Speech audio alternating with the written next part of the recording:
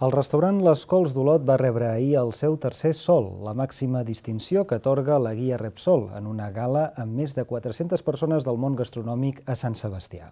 El restaurant olotí s'uneix a altres restaurants distingits com Àbac, Can Jubany o el celler de Can Roca.